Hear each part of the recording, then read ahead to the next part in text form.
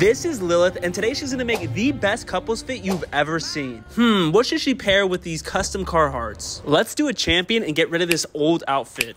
Alrighty, nice, nice, nice. Let's do some more cool edits. Oh, nice. I didn't even know I could do that. and now for the women's drum roll, please. it's it's beautiful.